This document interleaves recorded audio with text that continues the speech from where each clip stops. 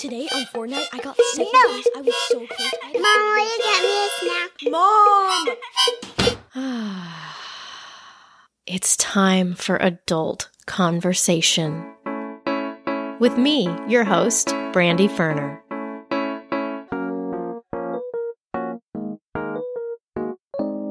Hello, Adult Conversation podcast listeners. Today, my guest Asha and I are talking about the pandemic, our new normalcy, and the impossibility of making school and daycare choices right now. Recording this episode actually helped me get the clarity I needed to pull the trigger on something I was avoiding in terms of the school choices, and it's not what I thought I would end up doing. More about that later. We also get real about the ridiculous expectation that us moms will keep bearing the brunt of this global crisis, and we unpack the idea that no one is coming to save us. But don't worry, we don't totally spiral downward. We also talk about seeds we plant when we're little kids that later bloom into badass women. And the interview starts with one of the most relatable moments as Asha's supposed to be napping toddler makes a quick appearance. I had to leave it in because it was just too real and it's what we're all dealing with. And we may not be able to run off to Vegas for a much needed mom's weekend right now, but I've got the next best thing Martha's Book Club and Workshop. Join me and podcast favorite Kathy, who was the inspiration for the book's Martha character, as we see what happens when we mix a book club and a workshop. In this five week online series, we will unpack themes from my book, Adult Conversation, a Novel, such as the taboo parts of motherhood and marriage, feeling erased, dad privilege, trying to save yourself, the elusive search for balance, and more. Equal parts humor and heart, we will explore how the main character's journey relates to yours while offering validation, community, laughs, and perhaps some action steps for change. The dates are five Saturdays coming up soon, and it starts on September 26th. For more information or to sign up, go to adultconversation.com slash events. And I want to give a quick shout out to my newest Patreon peeps, Rachel Harper and Heather Allen. Thank you both so much. If you want to join the likes of Heather and Rachel by supporting this podcast, you can go to patreon.com slash adult conversation. That's P-A-T-R-E-O-N dot com slash adult conversation. It's just a couple bucks a month and it keeps this podcast alive. And thank you to all of my Patreon peeps. I so appreciate your loyalty, your dollars, and your support. On to the show.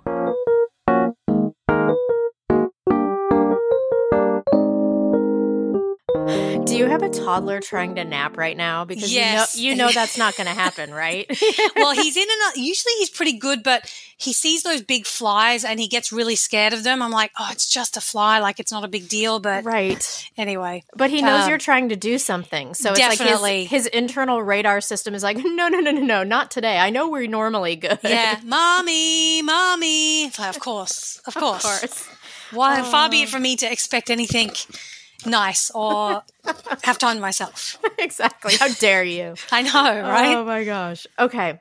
Today on the podcast, I'm talking with Asha Dahya, who is an author, journalist, and TEDx speaker, as well as a fellow mom trying to juggle work and mothering during this damn pandemic. And currently, right now, she's trying to juggle a toddler who is supposed to be taking a nap, um, which I think all of us can relate to.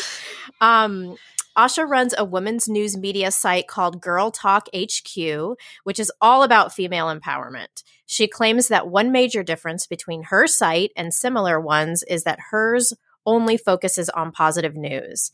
Hmm. Okay. Well, I'm about to ask her how she's looking on the bright side of things these days. So, welcome, Asha. Thank you so much for coming to the podcast. Thank you so much for having me. It's a, it's a real pleasure to be here. Of course. Um, I can hear your cutie pie. oh my gosh, how do I turn myself down? No, you're good. I mean, this is, I've had to learn in doing this, especially during the pandemic, that this is going to happen. This is Yes. going to happen. Um, I mean, I'm furiously texting my husband, like, come on. If this isn't the most relatable thing in the entire world, I don't know what is.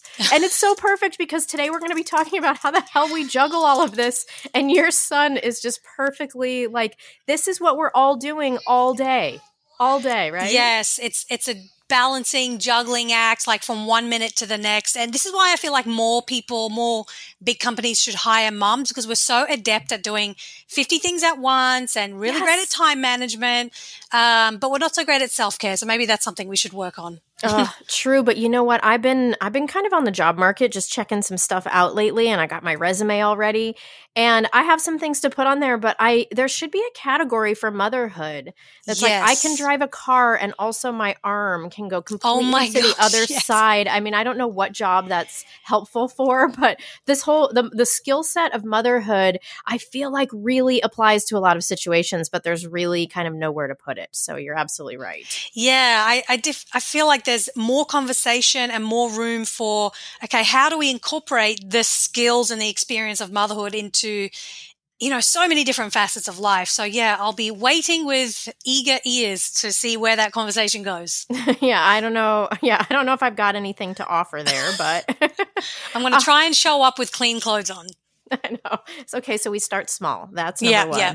Um, I'm so looking forward to discussing what this wild time has looked like for you. But before we do that, what is something that the listeners need to know about you? So, the way I would summarize who I am or give people a, a, little bit of an overview, I was born in the UK. I was raised in Australia, hence the accent.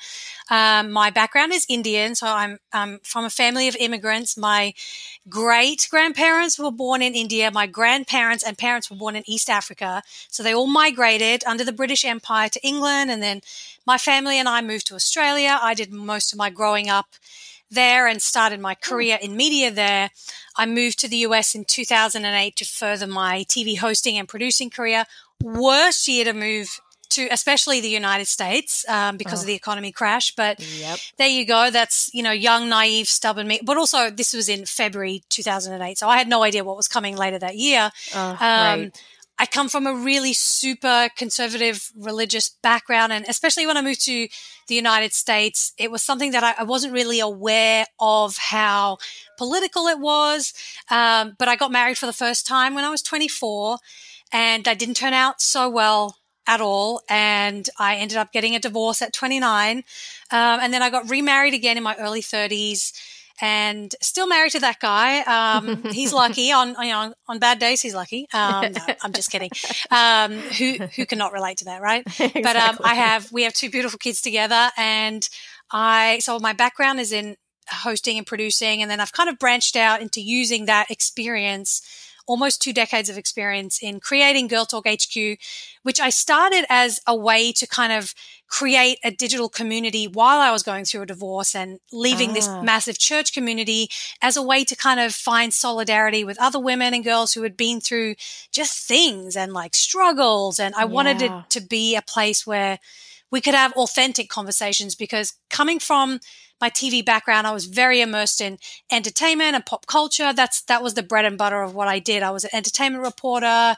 Um, I did some news, but mostly pop culture. So that was when my life took a real um, sharp right turn or left turn, whatever you want to say, and found a whole new direction because of those difficult experiences in my life. And and honestly, it led me to where I am today in in the best possible way. I wouldn't want to ever go back there and and experience it again, but I'm thankful for who I am and what I've learned because of it. So that's mm. that's me in a nutshell. And I've done so many things that I never thought I would do. I never thought I would be able to do a TEDx talk. Um, yeah. I never thought I would be a published author, but here I am, and mm. and yeah, just so many things. Like I, I'm learning to be open minded and and leave myself open to what opportunities life has. And this is coming from someone who's super type A, very control freak, and and all of those things. So that's that's kind of where I'm from, what I've been through, and where I am today. Ah, oh, lovely. Yes, it seems to be that there's a pattern. There's so many of my guests that, and maybe it's just the kind of people that I'm drawn to or I find interesting or who I connect with. But there's a lot of people who've been through transformation because of things that didn't go the way that they had hoped they would. And there seems to be so much wisdom that comes from that. And I think that I'm drawn to talking to people about that and hearing about that. So yeah, I'm excited to to unpack some of that and to delve into that in a little bit. So where are you at with being a mother during this pandemic? Like, are you having meltdowns? Are you hiding in your car for free time? are you forcing yourself to think positive? You have two little ones, right? You have a, Yeah. How old are yours again? My oldest is three. He just turned three. And my youngest is 11 months. She's Oh. almost about to be one in October. So, yeah, they're very little. They definitely require a lot of hands on attention, a little bit less so for my older one because now he's three and he's at just started going back to daycare. But, and they can both walk now, which is very, very helpful in a lot of ways. And we just potty trained my oldest one and he's doing really great. Okay. But um, in terms of your question about how am I doing, it's I feel like I've gone run the gamut and gone through that Mhm. cycle again and again. It's every few weeks. It's it's like I'm on a. I'm trying to describe what the best maybe a cycle like yeah. or a stage. You know, there's like different stages of pandemic, like the stages of grief. I feel like I'm some weeks it's like we're doing great. I'm exercising, eating less sugar. You know, we're waking up on time. Other weeks it's like just leave me alone. I just want five minutes. Yeah. Um, so it's definitely been an interesting roller coaster. I've learned a lot about my emotions and how I handle stressful situations, both for good and bad, which, you know, it makes me sad, but then it, it makes me happy to know that I'm not the only one going mm. through that. So I think everything that I had maybe was just simmering below the surface before this has, it's brought it out, you know, because we're just in close quarters all the time. But on the on on the flip side, which is happening at the same time, is that there have been a lot of beautiful moments that I'm really thankful that we have had, which I don't think we would have had were there not a quarantine period. So especially you know with the kids being so little and both my husband and I getting to spend so much quality time in these early formative years has been really wonderful as well. So if all those crazy things can exist simultaneously, they have for me over the past six months. Oh, yes. I think you're so right about that. I, I laughed when you said, I've learned a lot about my emotions. I think that oh. that right there, for so many of us, like, wow, I didn't know that I could go to those extremes. Right? And so quickly, like this staging or this phasing and the cycle that you're talking about, I definitely feel that too. And I feel it on a bigger scale. Like you said, where there's weeks that things feel like everything's going, or maybe a week at a time, everything's going fine. And then all of a sudden, I'm like, why do I want to be in bed for the entire week? You know, it's like, oh, and then I'm like, I- I'm probably depressed. Is everybody depressed? And then the next day, it's like, wait a minute, no, I'm normal again. It's so wacky. And then within every moment of every day, there's mini cycles, right? So you can have a day that's going well, and you're like, you know what? This is part of this is a blessing, or or however. And then in the next minute, it's like, I can't take this one more minute. It's like it just feels like you have sea legs. Like I, I feel like I can never quite get like on Steady. land. Yes, that's such a great description because it's like a whiplash from one emotion to the other in a 24 hour cycle Yeah. or less. And it's like, I guess, is this, is this is me now? I, I Right. Yeah. Yeah, and this is a question I've asked on the podcast before or on other episodes. I'm just so interested in what people have to say about it. But my big question, and my listeners are probably like, Brandi, give it a rest. But is is this pandemic version of ourselves the real us? Or is mm. pre-pandemic the version of ourselves? Is that our real self? And I don't know the answer. I don't know if this is who we really are or if who we really are is when we're not in a constant stress state. So, yeah, a what's your take? I feel like it's it could be a bit of both. I think there were def for me especially. I can't obviously speak for anyone else, but for me, it's definitely brought out things that I would just push to the back of my mind and be like, "Oh, that's not a big deal. I'll deal with that later," or "It'll sort itself out." Which, by the way, has never sorted itself Mm. out of any its situation in my life, including my first marriage. So I should have learned from that. Um, but there are things that I keep telling myself, all right, when we get through this part, then we'll get back to normal. But who knows how long this normal is going to be? So is it a matter of adjusting our perspective like, okay, this is normal now? Or do we just keep holding out hope for, you know, what life was like pre March 2020? I, I don't know. I think it's, I'm just taking it day by day and just trying to mitigate my own stress and anxiety and try to, you know, find ways to find the peace in, you know, in my brain more so than anything else because it's just so much going on in our heads that it's the, you know, just finding those moments for myself, ta- having some peace and, and also being gentle with ourselves. I, I definitely am not gentle on myself enough. So Yes. yeah, who know? I, I don't know what normal looks like. I think I'm just, but then are we just all frogs in a boiling pot? I don't I know. know. I don't know either. And one thing that you said about how this pandemic has accelerated certain things, you know, that you thought, oh, that'll sort itself out. And then Yeah. you're like, oh, actually, it really doesn't work like that.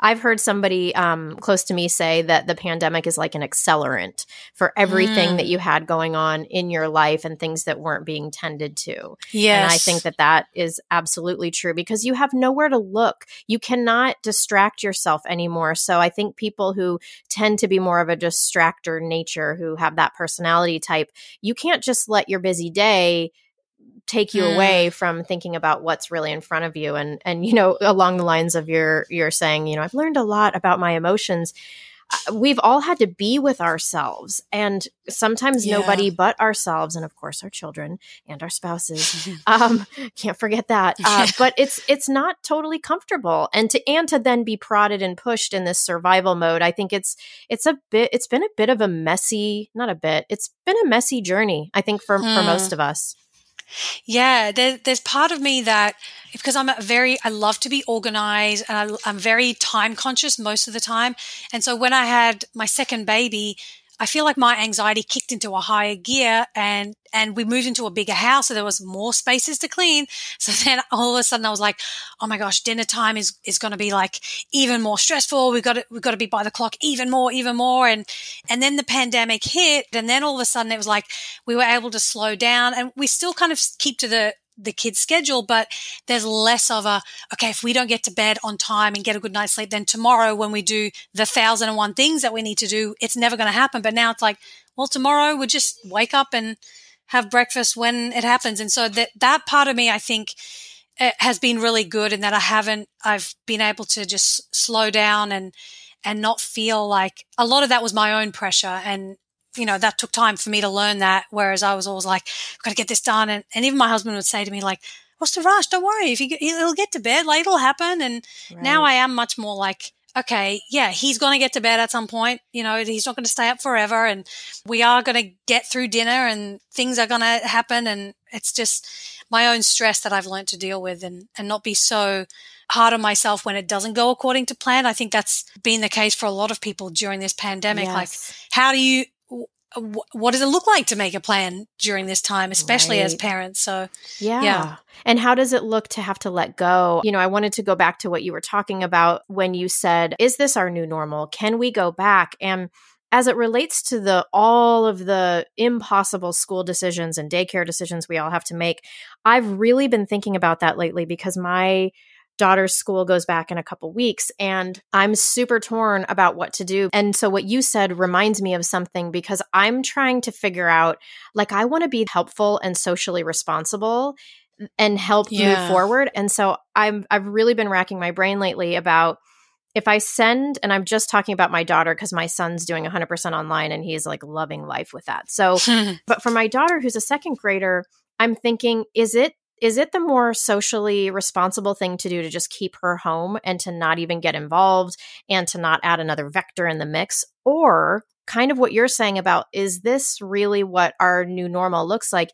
Is it more socially responsible for me to get involved, have her go back to school during this hybrid program, and be one of the parents that's trying to do the right thing and trying to pave a way with the rest of the community that's going back to see how we live like this and how we can get a sense of normalcy back. And so I'm feeling like there's no right choice. And I think we're living in a time where there are so many choices that we don't know what the right answer is. But I'm definitely feeling torn about do we do everything online and we don't go out in public and we wait for, Mm. I don't know what we wait for, but are we wait for that thing, whatever it is? Or do we try to try to do our best in creating what this new world looks like. And so that's where my mind has been. And I'm curious with you choosing to go back to daycare, what was that decision like and how has it gone? Yeah, that's a good question. And, you know, I really, my heart goes out to you. It's like such a difficult way to juggle, you know, with two different kids of different ages. But, um, yeah, so Frankie was in daycare five days a week or at the beginning of March and we were working a lot. I was getting, just getting ready to release a book. So I was getting really busy and then we had a newborn and we had part-time nanny and then all of that stopped. So then everyone was home, but we we've started to get a little bit busier lately and my husband is a photographer so his schedule is freelance which is great because he gets to be home a lot of the time. But then there are stretches of days or a few days a week where he works really long days, you know, on shoots. Yeah. Uh, and we've been lucky that some of the shoots have been at home with literally just like one model and him, and you know, it's it's very safe and responsible, and it's been really great. But it got to the point where I look at my son and he is just so playful. He just Yeah. loves interaction. He, he misses his friends and we've, we've gone to the beach and the park a few times and done those, you know, socially distant hangouts with other parents, usually one family at a time and families we know who have been socially distancing as well. So that's been great. But having that day to day brain stimulation and interaction has been, I definitely feel like in the last couple of months he's been missing that. And so we decided, all right, let's, let's explore what are our options. How many days a week? Maybe we only need two or three days. So we thought, okay, let's do a three day week. Let's look around. And we had found a really great, a smaller home daycare, which was brand new, just opened up near us. The house was brand new. The lady who runs it is a child psychologist. And we applied and the price was great. And we thought, this is going to be awesome. It's five minutes down the road. Oh, perfect. Um, then we get a call from another daycare. We were on the waiting list for these two really great Montessori daycares near us since November, uh, October last year. So almost a year.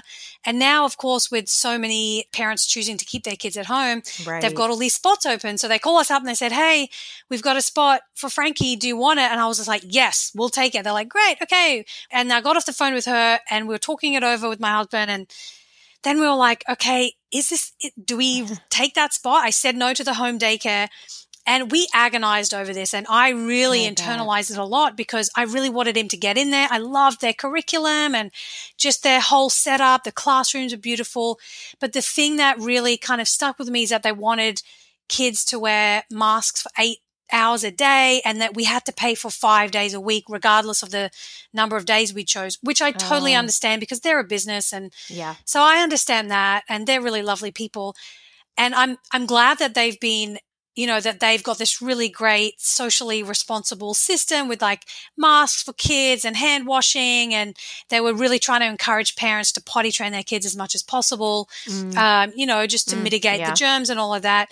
But f- for me, I, you know, I know my son, and just to get him to wear a mask for eight hours a day just just didn't feel right for Yeah. us, and I was really I had a lot of anxiety over that. Oh. And so we ended up saying no um, to Oh, that place, and that was like my ideal place for him. Mm. So we ended up going with the home daycare, and they don't require the teachers wear masks, but they don't require the kids to wear masks. And honestly, it's been great. He's got uh, one of his little friends goes there as well, so there's only a few kids, so it's not like there's a risk of potential spread with 20 or 30 kids. There's there's only a handful, so It sounds like they're their own little pod sort of a thing. yeah, Yeah. yeah, it, pre- it pretty much is, and it's you know it's close by, and it's just been great to be able to send him there the last two weeks, just to have that space. And I haven't had any regrets about saying no to the other daycare and sending him to this smaller daycare, and and also I, I realized that it's not just about making sure he gets you know the right stimulation and has a lot of fun, and because he loves it, but it's also about us being able to have one-on-one time with our daughter Zoe, but the whole situation, I was, I mean, those three days until the Monday when I had to call back the daycare and say, sorry, we're not taking the spot. It was the most torturous, anxiety ridden mm. weekend I've ever had, you know, since the beginning of the pandemic and on a personal level because I was like, are we doing the right thing? Should we train him to wear masks? Is that going to be, do I feel like I'm throwing him into a world where he doesn't need to be doing that just yet? Then I called other moms and I was texting with them. What did you do? How did you go through this? They all went through the same situation of agonizing over what is right, Yeah. what is my gut telling me? And they're like, we had no idea what was right. And I, you know, our gut intuition radar was all off because of everything that's going on. You just end up choosing what it's like. You just have to make that. Li- well, we did. We just made a list of like, what do we need? What's right? What boxes get ticked the most? All right, that's that's the path we're going to go down. I think it was just a matter of like weighing up every single little detail and and you know, I, I, haven't regretted that decision. So I, I, know that, okay, we made the right one for us, for him, for right now, and we'll, you know, assess when things change. So has he come back home with a, with a fever or anything yet? Like, no. Not, oh, that's, see, that's great. Cause I keep thinking about how I if I send my that. daughter back, you know, that's inevitable because it's kids and germs and cold. Yeah. And it's not necessarily that it's COVID, but I'm like, can, I, can my nervous system handle her coming home with a fever and then I have to figure out do we quarantine everyone? Do we get right. her the test? What, you know, how do we handle that at all? And those are the questions that keep going through my mind along with how can I be socially responsible, but how can I be part of the group that figures out this brave new world, you know, or should I do that? And everything is changing on a daily basis. You know, we found out that our school district tried to apply for a waiver so they don't have to follow the same state guidelines. Oh, Oh, and really? Yeah, which is like was not. I'm I'm sure there's other parents out there who are like, yeah, we don't want to be beholden to our governor's standards, but.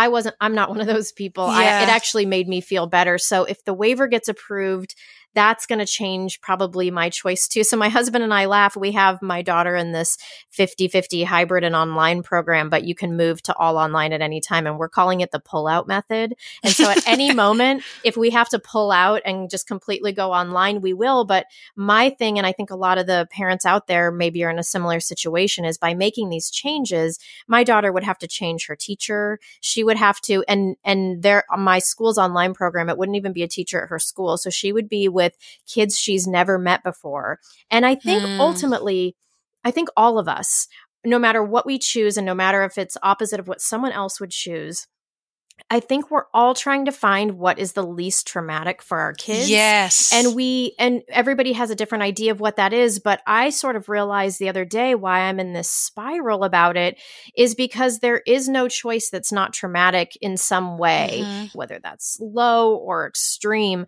But I was realizing that we're not wired as mothers, and I think as parents in general, we're not wired to pick which trauma we want to give our kids. So I, I know this sounds really yeah. dramatic, but it feels feels kind of like someone's at our schools are asking us, well, do you want us to use the knife or the rope on your child? And we have to pick oh, which form. Gosh, you what an I mean? analogy. I mean, I know it's awful and it's dramatic, but it, it, it but it's true. But it definitely feels like, well, in which way is it going to be the way where you know, kids go to school and they're wearing masks and it doesn't feel anything like school and it's not normal and people might get sick. So, and then they might have to stay home. Are we going to do that trauma? Or are we going to do the possible trauma of not having social interaction and being with a brand new class and being in front of a computer for eight hours a day? And that, you know, so it's like, I don't know what necessarily the right answer is. So I think what you're talking about, just thinking about it in your head and trying to make that decision, I think all of us are in that in some way. And it's just, it's really an awful place as a mother to be because we're not wired to send our kids towards trauma yeah. of some kind or towards something that has no ideal choices. And I think for me, I'm just, I keep looking for a way out. Like in my mm. mind, that's why I think it keeps putting me through the loop, is because it's like, Brandi, there's got to be some loophole here where something can sound good. And I'm almost like, brain, there isn't. Stop it. just let me live. You know what I mean? I know. Yeah. yeah. I'm so glad you mentioned that word trauma because that, that really is what it is. And it's obviously varying degrees for different people. But uh, when I was having yes. a conversation with my mom about what, which decision we should make and my thought process, and, and she's, you know, she lives in Australia with my dad and they were saying because their grandkids are here in the United States and in London, where my sister lives with her two kids who are a little bit older, and they're doing all they're going back to school in London.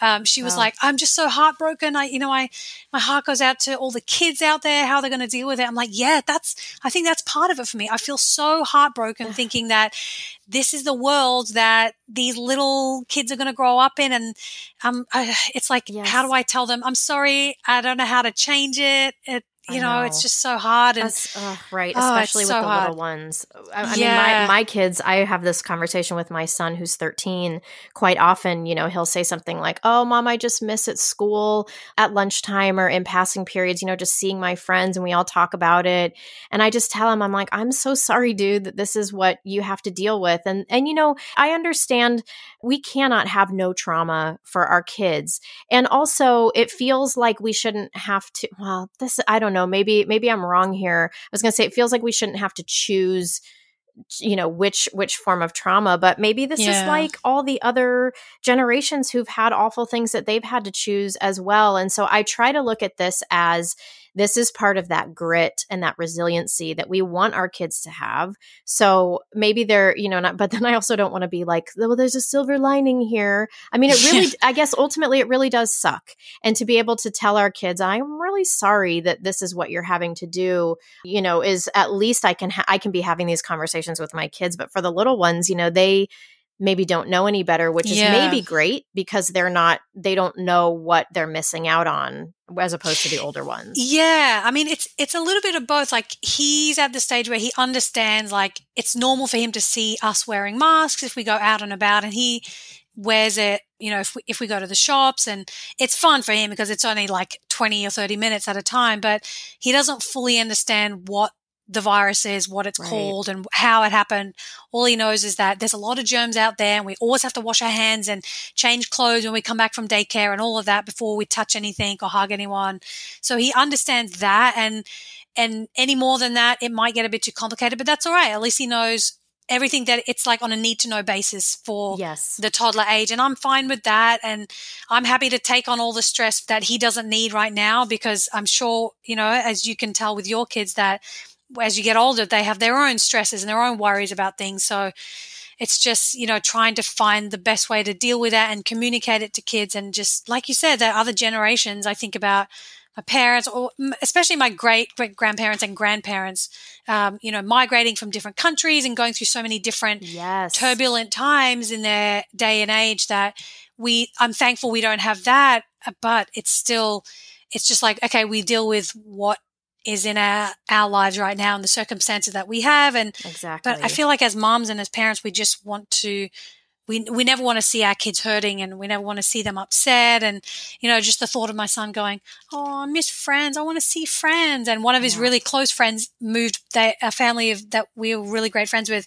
the only family that we were really hanging out with they moved back to australia because of oh. all of this and we're oh. like oh and he always says i want to see leo and oh, it just oh, breaks my heart oh, but of course yeah because we're i mean we're, we're wired to protect them and so yeah. to not be able to do that we're like we mal i know for me i feel like i'm i'm malfunctioning functioning. And then, you know, what, what you're talking about has me thinking too that when I'm worried about if we have to switch my daughter and she has to have a whole new teacher and change everything up and she won't know any of the kids, you know, there's my privileged mom point of view, which is like, well, that would be awful. And then there's my hmm. like, okay, Brandi, let's, let's bring you back to the real world and like real struggles that's not yeah. actually a huge problem or maybe even a problem at all that your daughter has to change teachers like think about all the people in the underserved populations mm. and people who hmm. deal with racism all the time yeah. who have had so much worse who are homeless i mean there's so many different things and i don't mean to make it like I'm I'm never like that person that's like, well, it could always be worse because you're like, shut mm. the hmm. fuck up to that person.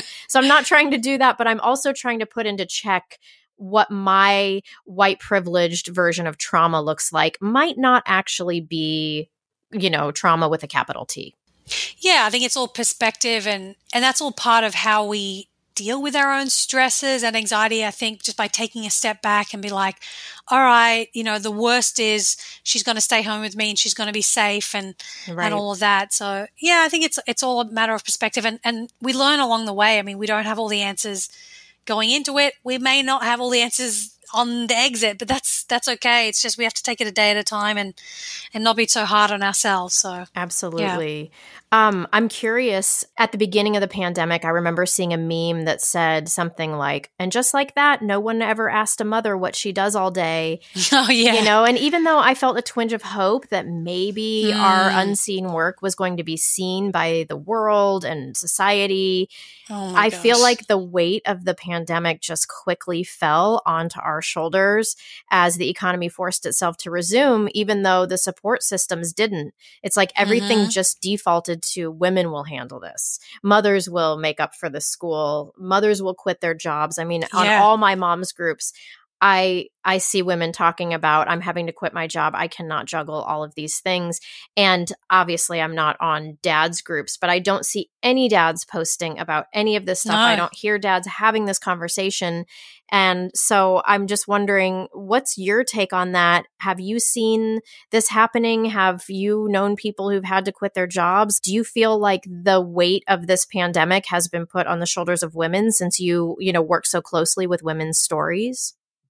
Yes, definitely. I mean, maybe there are some exceptions, but I haven't necessarily come across them yet. But at least in my circle of really close girlfriends who are moms as well, it's just that whole idea of wait, how did it wasn't meant to be like this? I thought yeah. we are all at home together, and how are you still on the couch while I'm like busting my ass making dinner, cleaning up, yeah, just all of that, and it's just been it's been really hard i think because i'm one of those people that takes a lot of pressure on myself and wants to try and do everything myself so that's that's definitely part of my own fault and my own flaw um, mm. But it's like that whole idea of all the things that were simmering under the surface already have now become exacerbated as opposed to fixed because of the pandemic so now we're locked in a house most of the time and I, I think it was you that posted that meme about the guy proposing to the woman like yes. will you be my wife and my large my my life will largely remain unchanged while you change everything about your life and yes. I'm paraphrasing it horribly but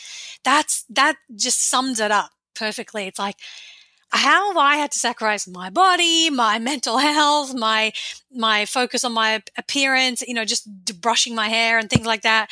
Whereas you have so much time to watch YouTube videos on your phone. I mean, I'm not saying this in a bad way to like, you know, diss out my husband, but there have been so many times I'm just like, please get off your phone. You take one. There's two kids, one for me, one for you. Let's just divide and conquer here. Come on, it's been hard. I and and so just for people who um who didn't see that thing I posted, it was um from this lady named Sue Rins, who it's a New Yorker cartoon, and it's a guy proposing to a woman. And it says, "Would you do me the honor of taking on even more responsibilities while my life remains largely unchanged?" Yeah. And it was just like a, a a hit to the gut because it feels so real, and also it's you know and i've said this in past episodes about how it's not even personal it's like the conditioning of the of the male in our mm. in our society so it's like it's not even that we would maybe say no it's just why can't why can't we share and and I know there's so many nuances and reasons I've had this conversation with my husband about employers. Like a part of it stems from employers will seemingly and i i believe that if if more men demanded it they would bend but employers are not bending. Like at the beginning, it felt like employers were realizing, like, oh my gosh, everybody's kids are home. We mm. don't know hmm. this what this pandemic's going to be like, and everybody kind of got like a soft spot to be in. And then it was like quickly thereafter, all of a sudden, I know my husband was working more than he worked even before because some of what he does is related to this a little bit. And then I'm like, so where where did it go where we were like had compassion for the fact that all this is being dropped yeah. on us? And I think if more people, and um, I mean men specifically, would stick up to their employer and say, listen, we had this pandemic hit. My kids have been home nonstop. My wife has other things that she does. She has work that she does. So for an hour or two every day, I am not going to be available. Yeah. And right, like I know that's a huge risk. I know people are probably like, you're crazy. Then people lose their jobs. And so maybe for the people who would really lose their jobs, you don't do that. But then I think there's also this group of people who are high enough up who they could be the people that are making this yes. change. And what if that started happening so that there was more equality? I'm just i'm all i'm asking for is equality here. I don't it doesn't mm, feel like right. too much. No it doesn't. But if you're in that group where you've always been privileged equality can feel like oppression. I mean as that saying goes and but i think you're right about the culture of how we treat you know especially women in the workforce.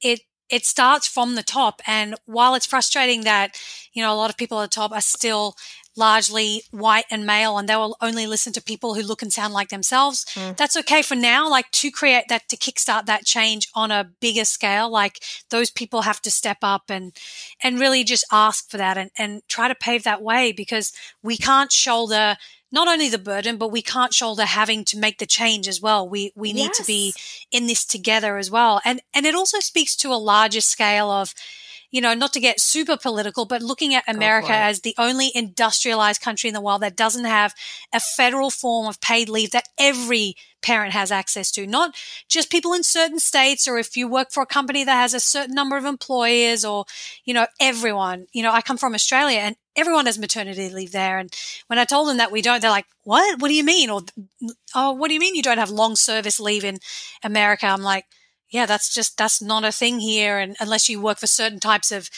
companies or institutions, I mean, things like that, which certain legislators have, all female, have been pushing for a number of years. And now it's people are finally realizing there's, there's a, a huge problem in our society when a pandemic like this hits. Yep. And not only do we not prepare for it on a policy level from the high level, but then systemically and culturally, we don't have support systems and pillars in place to really catch those people when they fall, when companies close down, when people don't have income, when mm. people can't buy food the same way. Like all of that stuff has, has become a lot more exposed and it does trickle down to people's individual lives. And I think we need to really reassess.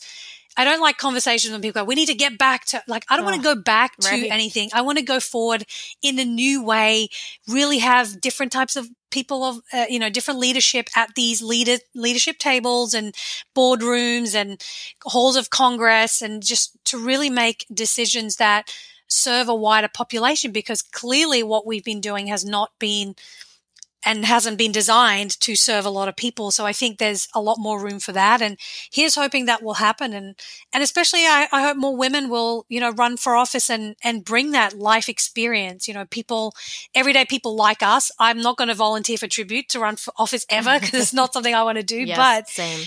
Um, I'm happy to use my platform and my voice to talk about this thing and, you know, spark dialogue and, you know, be part of any, uh, local actions and anything that I can be part of, sign a petition. But I think yes. we definitely need to, as well as dealing with our own individual circumstances, realize, okay, well, obviously we're not the only ones dealing with this. How do we create change going forward as a as a country because this is something that affects all of us you know yes it absolutely does and it affects our marriages it mm-hmm. affects our relationships it affects our work there's just i just keep thinking there's a, such a more humane way and i think the numbers are showing that there are more people like us getting involved mm-hmm. in politics which is great but then there's a part of me that's like okay so wait we bear the burden and then we have to fix it yeah you know which also yeah. um on a, in a different way, you know, there's other systems like that. Like racism is a system like that too, which is like, oh, so you're gonna, you know, you're gonna be mistreated,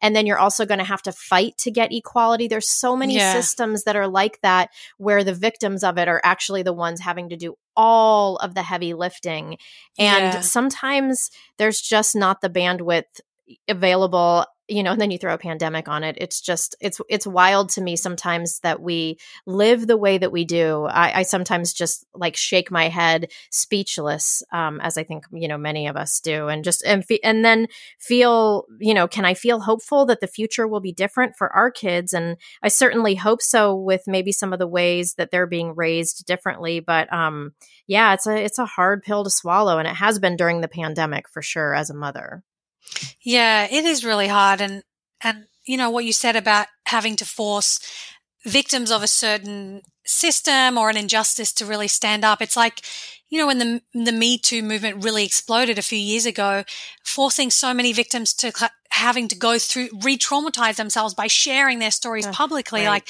it should, those, you know, just the story of like Weinstein and Cosby and a few others. Yeah I feel like that should have caused a whole army of men to be like, Hey, we are the good ones. And so we're going to lead, we're not lead, but like we're going to stand alongside and we're going to create change in, in the places where it's needed. Don't worry. We got this. If you want to share your story, that's great. We support you, but don't, you don't have to do all the heavy lifting by yourself. But instead it's like, well, not all men and not yeah. all, you know, we're not, it's like, we know not all men. So come on, then let's, wh- where do you go beyond that? And, you know, the status quo is is not working for a lot of people. And so i think we're in a really great time for potential um, optimistic change if we continue going but it is hard because then we you know we're we're struggling with our daily lives you know yes. as parents and as mothers and as individuals. But then it's like okay we're looking at the bigger problems in our country and around our world and how do we take on all of that? And so Yes. Yeah, I have no answers. I'm just throwing it out there, Oh, and please, yes. someone else out there fix it. I know. Well, and that's the thing. Like what you're talking about is, eh, the- you know, the moment that you realize nobody is coming to save us, that we have to band together, which is a lot of the reason why I do the work that I do, which is even just to maybe validate for people who feel like, isn't it crazy that nothing is ever being done about this or seemingly, and, you know, even just to say to somebody, yeah, you're not crazy for feeling that way. Mhm. And you know, m- the section that I am so passionate about obviously is the motherhood angle, but there's so many so many systems that I've talked about on the podcast and even ones that I don't have. These are this is why some days it feels like you just want to stay in bed because it becomes Yeah. so overwhelming. but I think Um, that's where each of us can like find our own niche. Like you were saying, yes. with you, it's motherhood. It's like we don't have to do all the things. We can find something that really strikes a chord in us and be like, all right, let's start there and and see where it takes us. Yes, absolutely. Has the pandemic changed or accelerated your point of view on anything related to female empowerment or patriarchy or anything? Is there anything that just became really crystallized for you throughout this? Yeah, I think it has for sure. Um, one of the things is, and you mentioned it just earlier about how there's no one out there that's going to come and save us. And so I, I had a, um, at the beginning of this pandemic, I had a, a book release date set, which was March 18. And the book that I wrote is called Today's Wonder Women Everyday Superheroes Who Are Mm. Changing the World. And it's a collection of 50 interviews and essays of women from mostly North America, but also around the world who are just doing incredible, brave, badass, inspiring things. Awesome. And I had this whole uh, like East Coast tour planned. We were going to go on the Today Show. When I say we, I mean my, my publicist and I. And right. it was great. I spent all this money, and then all of that just stopped. Had to cancel Ah. all my pl- uh, travel and all of that. But so now I've been finding, you know, different ways to try and talk about the book, and while also finding time for myself. So basically, it never happens. But there you go.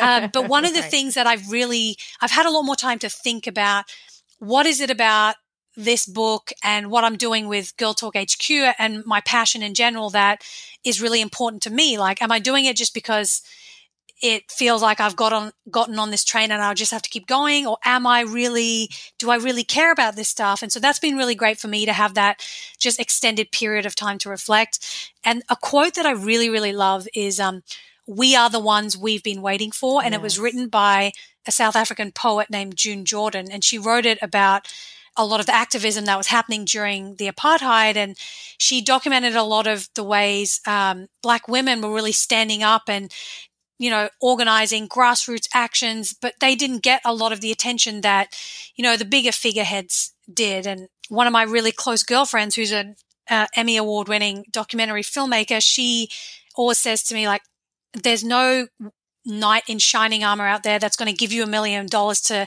get you to make that TV show or that film. Like you can do it yourself. And she's done that a lot with her projects. And so it really made me realize that a lot of women are, you know, we use our talents, our voices, our stories, our experiences, not just to benefit ourselves, but for the betterment of other people. And, and I really love that. And I've seen that with, I've seen a, a few different documentaries about women who ran for Congress in the midterms in 2018 and hearing Yes. about their stories. Like th- these aren't women who are necessarily very rich or they don't come from wealthy families or well to do, well known families. They're just everyday women who experience things and like, I want to create change. I see a problem. I'm going to rise up and I'm going to do something about it. And for me, that was all the women in my book, but also women that I have seen just in my life and throughout the work that I'm doing that have really inspired me to go, okay, well, if I'm not going to just wait around for someone to do something for me, what am I going to do? And what am I passionate about? And how do I use my resources to do something that's beneficial to others and mm. creating change? And it doesn't have to be change on a huge level. I mean, it can be, but it can be like impacting one person's life or just in your household or your community, you know, whether it's starting a meal drive for new mothers in your neighborhood or or whether it is trying to create new legislation that's going to help more mothers have access to maternity leave or money in those early years where they need it and they're not working as much. So there's there's just so many things that I admire women for doing and I think that's going I I want to be part of that ongoing cultural collective of people a- amplifying that and bringing that to the surface and talking about it more. Mm, yes. Oh my gosh. When you said about how the women that you've interviewed for your book and just women in general, that a lot of times when they are moved to get behind something or run for office or whatever the case may be, it's for the betterment of the entire culture. Uh, that just Yeah. so you know resonated with me because I think uh, so many women that I talk to, I feel like almost every woman that comes on my podcast when we talk about, you know, how did you get into this? It was because I went through something or I was with somebody who went through something and I wanted to support anybody else who would ever go through that. It's such a beautiful thing. And obviously, it's not everybody, but I definitely see when you find somebody who's passionate about something, there is usually a reason like that. And it's just such a beautiful thing. You know, Yeah. to to say I just want other people to know that they're not alone. Like even just that feeling and the feeling of community that so many of us have, and I think motherhood really does that to us because Mhm. after we become mothers, you know, we're like, how do I do all of these things? And we have questions, and we all of a sudden have a whole new language that we speak about, you know, spit up and being up all night and nipples and, you know, all of this stuff. And so you have to find other people who speak that language. And I always think it's interesting how you know when all this the school stuff and like are we homeschooling? Are we online? Are we all the pandemic stuff you know my mom groups were just going off and it's like all the moms are like how do we fix this? How can we pull together? What can we do? How can we provide for people who don't have enough? How can you know all of these things where they're coming together. And then i wonder a it's so sad but i don't think dads have these same communities and it makes me wonder like they probably don't need them but then also i pr- maybe they do like would dads Yeah. love to have In a different community? way. yeah Yeah, I think so. I hear from my husband a lot. Like he gets very, he's very close with a lot of his close friends in back in Australia, and every now and then he'll say, "Oh, I'm homesick. I miss my friends," and it's hard to find. You know, he has surfing buddies, but it's it's not on the same level. And I think that guys. Maybe they haven't been taught the same way we have as women, you know, Right. that whole idea of community. And, but I think they would benefit from community and sharing their problems in a way that they don't have to be competitive or out masculine each other or you know things like that and just really have that um, bond from a sense of authenticity and complexity rather than oh this is me i'm black and white i'm a man see you later guys Right. you know? Yeah, they're just not conditioned to seek it out and probably accept it. Um, common sense would tell you that every human would benefit from community like that that's authentic Yeah. and supportive. And it makes me feel both ways. It makes me feel sad on one hand and, you know, makes me want to raise my son different so that he Mhm. values community and he wants to start community. But then it also, of course, makes me a little bit rageful because it's like, well, if you're not building a community, then when something like this goes down and we have to figure out school stuff, well, I'm the one who's built a community, many Yeah. different communities. So then it falls on my shoulders because I'm the one that's that has done the building. But also you weren't conditioned to do the building, so I'm not mad at you and it's not personal, but also Yeah. build the communities, you know? yep Yeah. Yep. I think Yeah. it's it's all in like how we we can make the choice to raise our sons and daughters differently and yeah it's it's like I don't want to blame people like my husband because it's the the system and the culture that he was brought up in so I don't blame him but at the same time it's like oh my god there's only so many things I can tell you off about. And Yes. um, and you know when he says to me something like oh man I don't know how you do it. I don't think I could do it. I'm like don't say that because you could do it You could. and you know don't don't sell yourself short and don't don't like fake me out thinking oh yeah i'm the only one who can do it. You know so it's it's all about how do we change the culture Right. And then it's too, it's if you had to do it, you would do it. I mean, how many times have you said Yeah. to, you know, maybe your kids are too young, but maybe you've said to your spouse, if I wasn't here right now, what would you do? You would have to i've find said a way. that so many times Yes, this is a thing that I say all the time too, and it's like that's the thing is when it's like I don't know how you do it all. It's like it's ne- it's necessity because Yeah. when all of a sudden you have a baby that's crying that needs to be fed and it's not working, and then you're trying to heal from birth, like you suddenly realize, oh shit, I need people. yeah Um, what inspired you specifically to get into the f- female empowerment niche? Like, was there something specific that happened to you, or was it more ideological? Does it come from your your cultural background? Where did that stem from? yeah there's a i've thought about this a lot because it, it's it's not like one big bright aha shining moment but there have been a couple of things that i can definitely identify. So growing up, my family, although we're Indian, we were never big Bollywood fans, but my mom especially would really love um, independent Indian cinema where there were stories about like women who were hard done by in their village mm. and they mm. rose up and overcame and became the conqueror and, you know, helped all these other women just you know outcasts who were then became the hero or became the prime minister or all films like that. And so in the back of my mind growing up that was what i was exposed to just subconsciously just through her. And she was always very understatedly inspired by that. And I, my mom had her own feminist tendencies without ever having to say it. But now that I look back on it, it's like, yeah, of course that's, of course that's who she was. And uh. even to this day, we text each other like, oh, you got to watch this film on Netflix. It's great. And so that, that's been one thing that I can point to. And a couple of years ago when I went back to Australia and I was cleaning out an old closet and um, just all these old folders that I'd kept, I found this folder where I'd started through my college years collecting articles in like women's and teen magazines that were just none of them were about celebrities but they were all articles about women who started an organization who to help uh, trafficking victims or to help people with um, who gone through breast cancer and just all these amazing articles and snippets and stories of everyday heroic women and i was like really blown away because wow. i don't even remember why i started collecting that but maybe it was I got to a point where I'm like, I'm sick of the whole celebrity thing. I want stories of real women, and or maybe it was the inspiration for my mom, but I just didn't know how to put words to it.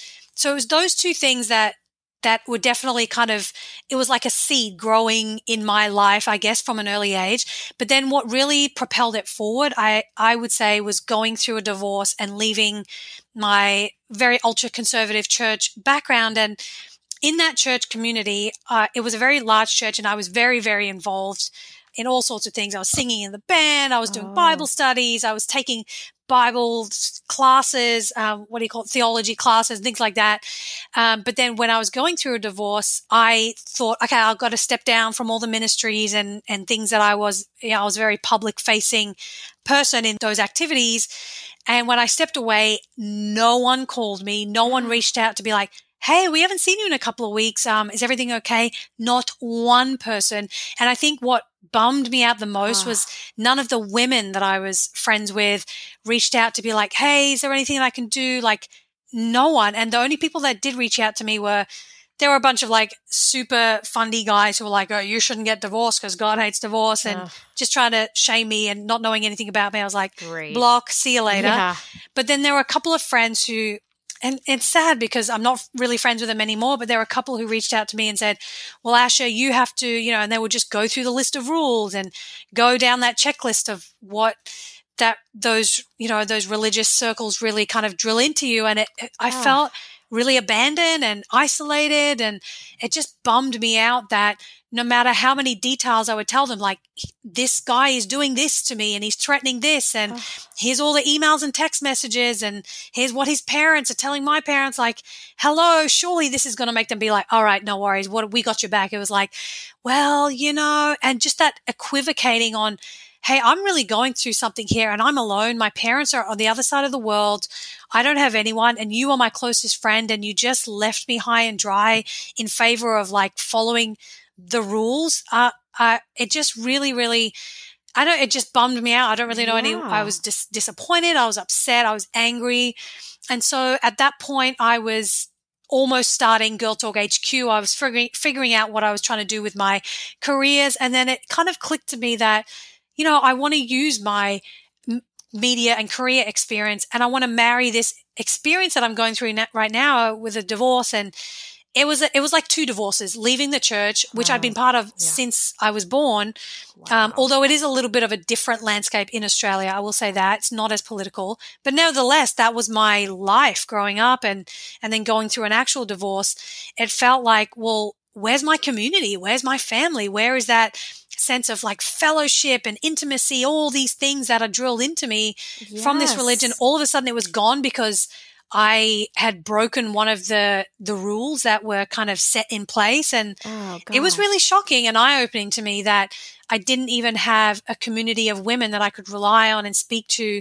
And the only person that really did that I am still friends with to this day, she was also going through divorce um, in that church. And so we're still friends and you know, we commiserated a lot. And if it wasn't for her, it would have been a lot harder and, and having Oh, work to distract me. But I think that really solidified for me, you know, the, the importance of, of female friendships, um, not at the expense of anything else, but just for me as a woman, a young woman and a young woman of color growing up in a world where I never felt like I fully fit in, uh, looking at media and looking around me, but realizing that, well, I have an opportunity to create something, create a community, um, share my story and find other stories and bring women together. And I, I wasn't afraid to do that. And so I'm going to do that. And so I think Yeah. that's what really started for me. And then it's definitely evolved and refined itself along the way as I've written for this blog and, and written this book and um, done the different film projects that I've been involved, uh, media projects I've been involved in. But I- I've learned so much about who I am as a person, what I believe in, what my values are, and just learning about feminism, female empowerment, just the idea of more women in, in public spaces and the representation of women and media and public office and in even in religious circles. I, in, at the leadership level we don't see too many of those. And so it really it really started my own journey but also my passion for wanting to uplift other women who have a story to share or who want who are craving that authentic and complex flawed just real connection with other women as well Yes. Oh my gosh, what an awful realization that the community that you had invested so much of your time and your heart into basically dropped you the second that you weren't following all of their rules. I mean, I'm, Yeah. that's I'm so sorry you went through that. That had to be like you said, like a second divorce. Yeah, thank you. I mean, it. I, I look back on it now, and I think, I, know- and I know I'm not the only one because I've since connected with other women from there Mm. who we've spoken and shared just just really awful, traumatic, and just really depressing things that they've gone through and different to me. And it's just like, oh, that's so disappointing. And where is that authenticity? Where is the where are those genuine relationships that we're supposed to cultivate as part of our belief system in that church anyway. And obviously, I'm not speaking for religion on behalf of everyone because everyone has a different experience, but I do know that there are so many like me who've experienced the same and, and, Yes. you know, have found community elsewhere in just finding other people who have been through spiritual abuse and, and trauma and they've bonded on that and created that community. Um, there is a huge ex evangelical community online if, if anyone is interested. But Oh. yeah, I think that that really solidified for me. Okay, this is this is what I'm meant to be doing in life, and this was this is what all that um, exposure to those independent Indian films were about from my mom and my immigrant background Yeah. and my media experience. It's now all going to come together, and you're going to be doing this. And so yeah, so I'm still Yeah, you know I. I feel like I'm still in that infancy of that journey, but it's it's definitely it feels like this is my space and I don't feel the need to compete or feel inadequate in any other way because I'm just kind of creating my own thing, I guess. Yeah, and it's funny that you said about finding those old articles that you had ripped out about inspiring women. It's like your book seed was planted so many years ago. Did you know Yeah. that like when you when you finally got the like okay, I'm going to do this, did you remember anything from before that you had been interested in it before? Like was it a seed that you knew in that moment someday I'm going to compile stories and put this book together or had you completely forgotten because i think that's such an interesting thread and it sounds like it was kind of an invisible thread I think it's an invisible thread because I hadn't thought about it at all until I'd seen it in front of me cleaning out that closet. And it's just such a, it was such a confirmation to me because it made me realize that, okay, it's not random. I'm not just following some trend or trying to copy what someone else is doing. Like this is something that I wanted to do for a long time. And it is funny, like you mentioned, like ripping out those, and this was a thick folder, you know, like those Yeah. thick folders where you have those plastic inserts and the pa- pa- paper protectors. Um, I mean, that was chock a block full of articles, and I don't know how long I was collecting these for. And hopefully, it's still. Uh, my mom hasn't thrown it out. I don't think she would have, but you never know when you're clearing out so much stuff. But yeah, it it it was really it was just really cool to see that the earlier version of me was like laying the groundwork in little ways, even though I didn't know it at the time, and I didn't realize it until years later and had completely forgotten about it as well. So that was like a cool uh, reminder. Yeah, you know, I've talked to people who say, including uh, a therapist, who's who says, you know, when you're trying to figure out what you want to be or what you want to do in the world, go back to what you liked doing when you were a kid. And so, you know, hearing about your story, uh, it reminds me of when I was a kid. There were so many things that I liked to do. I was such an independent kid when I really look back on it. But one of the things was obviously writing.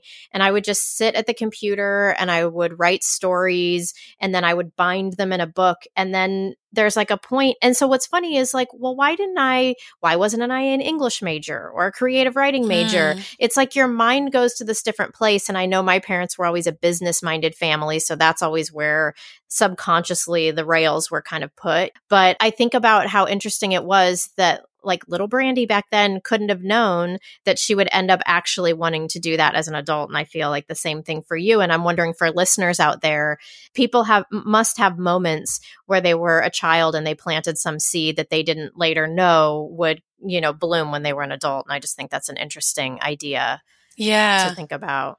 It's so beautiful too. Like when we're young, that idea of the naivete, and not in a bad way, but it's like we instinctively know who we want to be when we're at a young age, when we can't even put words to it.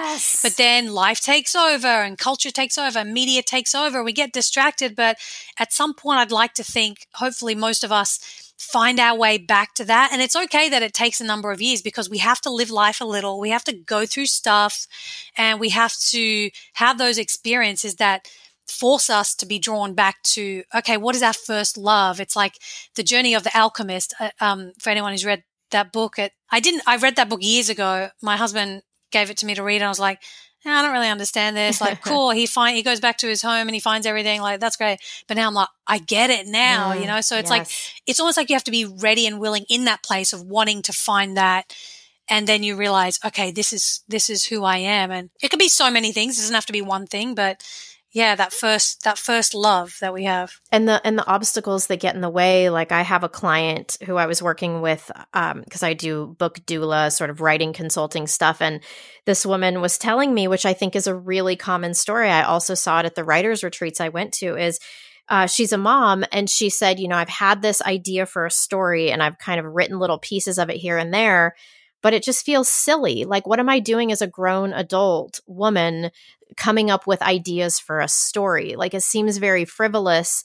It, it took me a moment and I and you know that I talked to her and then like I said at different writing retreats I've been to all the moms we're in this like grown woman many of us suburban you are now all about your kids bubble that we don't see creative people in our real life and we don't we don't talk to them we don't share these things so you walk around as a Hmm. creative person in this for moms i think you know in this m- suburban mom world and you think you're a weirdo because you know because you care because you think uh, i mean i do this all the time where i see something and i write down a little note that's under the tab next book because it's like it's such an interesting character trait or you know the a quirky way somebody does something yeah and then I think uh, do, nobody else does this. Am I the only one that does this? But I've made, I've accepted it. But talking to writers at the beginning of their journey who haven't accepted it yet, it's like I feel so lucky to be able to say to them, you are allowed to love story. That does not mean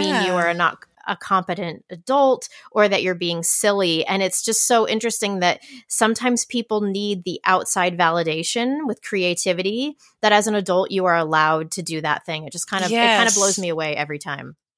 Yeah, I love that. I mean, that's so interesting to hear that you hear that from people in your writing community. I mean, a grown ass woman wrote Harry Potter, and people Right. probably thought her ideas were really stupid. Like, Hogwarts, what is that? Like, go get a real job. I mean, I'm- I'm, Seriously. sure pro- so, probably so many people said that to J.K. Rowling, but Yes. and I, here we are today. I mean, I can imagine her, you know, at gymnastics practice sitting in the room that everybody has to sit in and all the moms are talking about Instapot recipes or whatever. right. And she's over here writing like muggles, that's the word. That's what I'll use, you know, and just feeling yeah. feeling Gryffindor, what a name. yeah, and th- and then they do this. Oh my gosh! And then there's this cloak that's invisible, like all the Yeah. things. And meanwhile, the other moms are like, um, what about picture day tomorrow? Do you have the picture day outfit? Like, and that's Yeah. how I feel all the time. and especially when I was writing my book and I would be at gymnastics practice writing away and I just hear all the conversations going and I'm like, I'm such a freak. And also, I can't be anything different. So I'm not going to fight it. But, Right. you know, so I, I feel like it's an important thing, like what you're talking about, is for people to look at what did you love when you were younger? And then also the other part is you're allowed to still love that thing. Yeah, absolutely. Giving ourselves permission to be who we really truly are inside and and finding time to strip away all those messages and and barriers that we've put up because of what we're quote unquote supposed to be. It's like, yeah, how do we do that? Yes.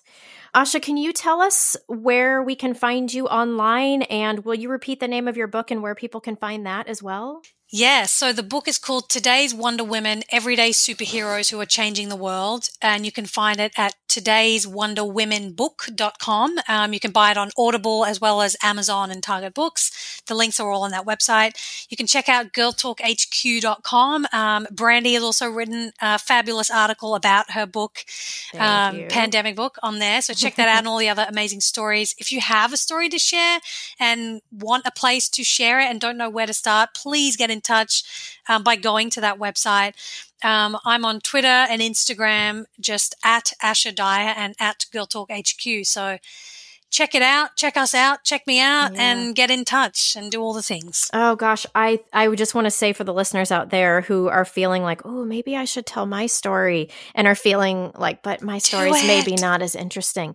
Do it. And there's something that's so important about having somebody hear your story. So I didn't necessarily realize this when I started the podcast, but so many people who have come on the podcast afterwards tell me.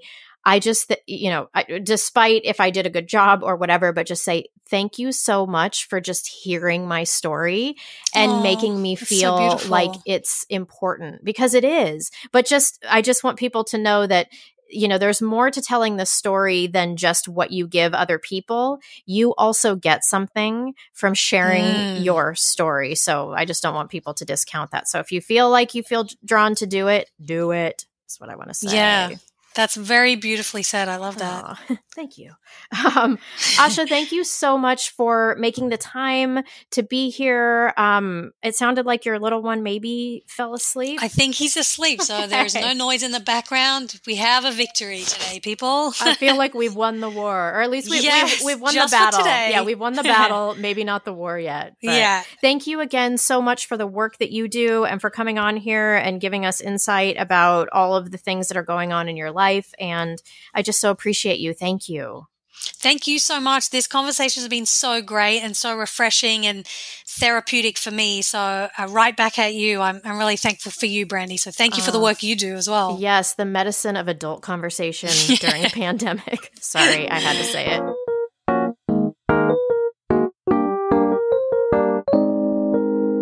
Like I mentioned earlier, talking all this out with Asha, the part about which choice is more socially responsible, and then my epiphany about the trauma with a capital T versus lowercase t, and how my privilege really played a part in that, led me to switch my daughter to 100% online schooling.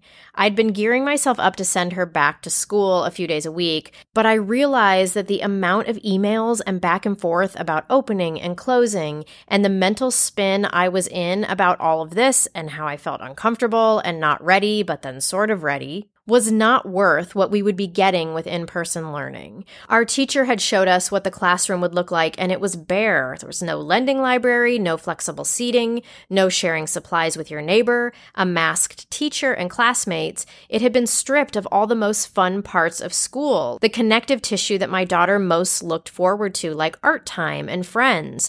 So I just thought to myself, I'm putting myself through all this chaos and avoiding a teacher switch for my daughter to go back to this?